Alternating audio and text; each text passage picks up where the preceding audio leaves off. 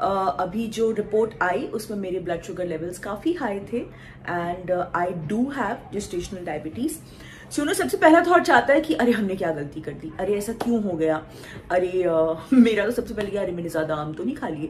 अरे मैंने ज़्यादा यू नो मीठा तो नहीं खा लिया? मैंने ज़्यादा चावल तो नहीं खा लिए? At this me developing diabetes during pregnancy इसके बाद भी मेरे मुझे डायबिटीज़ आने के चांसेस थोड़े ज़्यादा हैं।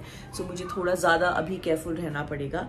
So yes that's about it ये था हमारा कल का checkup and gestational diabetes and मैंने जितने भी लोगों से बात की, उन्होंने बोला कि बहुत लोगों को होती है। अब मुझे पता नहीं है आप लोगों ने भी एक्सपीरियंस किया होगा तो बताइएगा। आसपास मैंने जितने भी लोगों से बात की तो लाइक uh, अनुषा अनुषा की सिस्टर है प्रिया उसको भी हुआ था। देन uh, कनिका को जेस्टेशनल uh, बीपी हुआ था। एंड तो uh, ये सारी चीज़ें ऊपर नीचे होती हैं। हमें सिर्फ़ अपने दिमाग को माइंड को काम रखना है और सारे प्रिकॉशंस लेने हैं ताकि कुछ भी गड़बड़ ना हो।